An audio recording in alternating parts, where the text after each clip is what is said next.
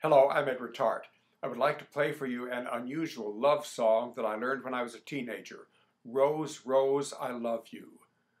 Wikipedia says, this is a popular Mandarin song composed by Chen Gexin in 1940. An English language version whose lyrics have little in common with the original Mandarin was first recorded by Frankie Laine in 1951.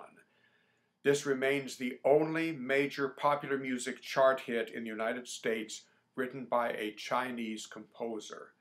It is also known under the titles Shanghai Rose and China Rose. Here is my piano version of Rose, Rose, I Love You.